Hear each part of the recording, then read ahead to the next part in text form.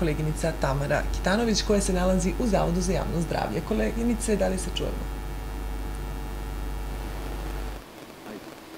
Marija, dobro jutro tebi i dobro jutro našim gledalcima. Lepo sunčano jutro nakon jučerašnje kiše, onako odmah utiče na bolje raspoloženje, ali nekako i brojke koje ćete čuti u prethodna 24 sata takođe govore dobro, bar za Pčinski okrug. Nalazimo se i ovog jutra ispred Zavoda za javno zdravlje, pričamo o koroni, a ko je kompetentan, najkompetentniji za to nego dr. Slađan Stanković, epidemiolog našeg zavoda. Doktore, dobro jutro. Dobro jutro vama i vašim gledalcima.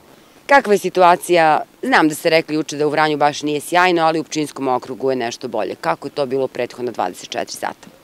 Danas možemo da kažemo da se epidemiološka situacija popravlja i na području grada Vranja, dakle stabilna epidemiološka situacija u Pčinskom okrugu prema jučerašnjem preseku, e, da kažemo samo 8% novozaraženih na dnevnom nivou u odnosu na prethodni period kada je to bilo mnogo više, dakle u apsolutnim brojima 25 novoobolelih od 315 testiranih uzoraka, u Vranju 14 novozaraženih, pet u Sudulici, po jedna osoba obolela je u Vladičinom Hanu, u Bujanovcu i Trgovištu i tri osobe u Bosilgradu, u Preševu nemamo oboljevanja.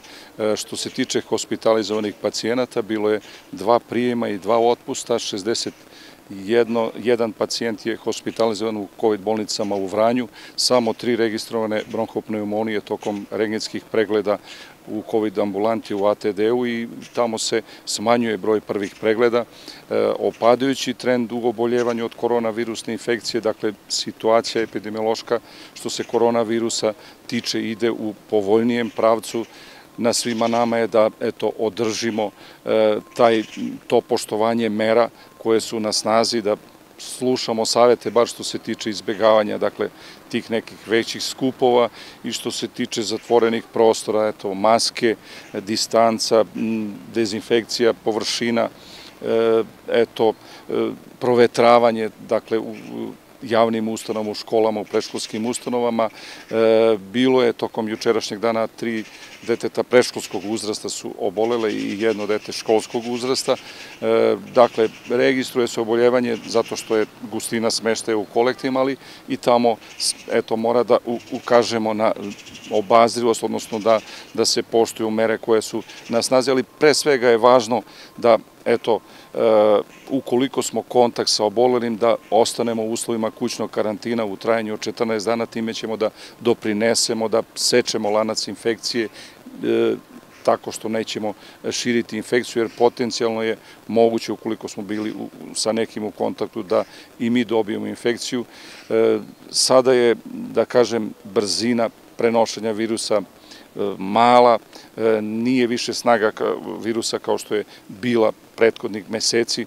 Dakle, i eto, mi treba da doprinesemo svi da to treba da nam bude e, e, stimulans, odnosno motivacija da se što pre izborimo sa pandemijom, da se vakcinišemo, e, eto, i pored toga što stanovništvo, pogotovo mlađa populacija, vrši ispitivanja na antitela, to će u narednom periodu od tri meseca da im služi, ali pre svega je važno da e, se vakcinišemo kako bismo napravili jednu branu e, virusu, e, kako bismo, eto, da kažem, sveli to oboljevanje na pojedinačne slučajeve, idemo u dobrom pravcu, pamtimo period kada smo registrovali oko 1% novoobolelih, to je bilo tokom letnjih meseci u junu i u julu ove godine, dakle, težnja nam je da dovedemo e, oboljevanje na, na pojedinačne slučajeve u u većini opština u okrugu je tako, e, što se grada Vranja tiče ide u tom pravcu,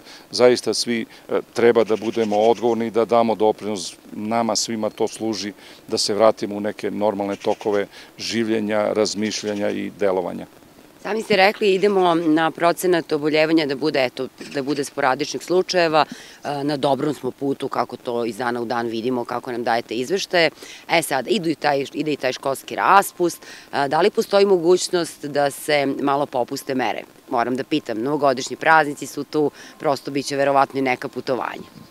Pa, biće sigurno, ali e, pre svega je važno da, da ne dođe do popuštanja mera dok oboljevanje u Srbiji ne bude ispod hiljadu, sada je još uvek preko hiljadu i dok se e, broj osoba koji je hospitalizovan, e, dakle i broj osoba na respiratoru ne smanji, važno je da održimo ovakvu epidemiološku situaciju i da ne dođe do eskalacije epidemiološke situacije tokom novogodišnjih praznika i božićnih, eto, tokom tih zimovanja pitanja, važno je da, da poštujemo bez obzira kako nam zvučale te uopštene mere, e, ponovit ću opet kao što je distanca, maska, eto to možemo poštovati, dezinfekcija ruku, izbegavanje skupova, pogotovo za starije osobe, eto i time možemo da doprinesemo da se održi ovakva situacija.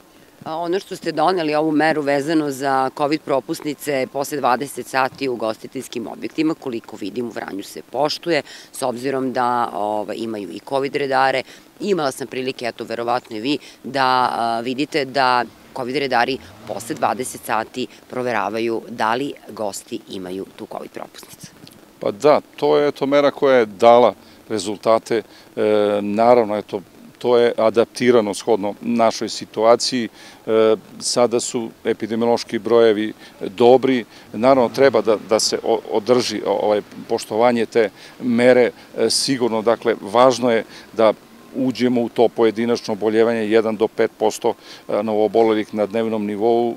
Dakle, e, vrlo je važno da na te skupove, e, pogotovo na, na koncerte, na koji su u zatvorenom ne idu ljudi koji nisu vakcinisani, da eto to važi, da, ili da idu testirani antigenskim testovima, što je važno da ne dođe do, do širenja infekcije na tim velikim skupovima. Juče sam negde pročitala, ne znam gde, pravo da vam kažem, da da grčka vlada je podnela zahtev, to jest članovi vlade, da se uvede da COVID propusnica važi samo tri meseca. Pa, e, u zavisnosti od epidemiološke situacije, dakle, kod nas svaka zemlja donosi shodno epidemiološkoj situaciji Kod nas propusnice kada se testiramo na antitela važe tri meseca, kada smo prebolili sedam meseci ili kada smo primili vakcinu. U svakom slučaju važno je da u svim regijama u svetu bude veliki procenat vakcinisanih i da se poštuju mere. Evo vidimo tamo u južnoafričkim zemljama gde je mali procenat vakcinisanih, negde ispod 20% i manje od toga, došlo je do mutacije virusa. Važno je dakle da u svim regijama u svetu bude veliki procenat vakcinisanih, da se postigne kolektivni imunitet i tako ćemo na globalnom nivou pobediti pandemiju. Dakle, na svima nama je da ozbiljno to shvatimo, na dobrom smo putu. E, ovaj talas je bio, da kažem, najjači do sada, on je zaista e, bio sa velikim brojem smrtnih ishoda i sa teškim kliničkim slikama. E, eto, to neka nam bude neki nauk negativni.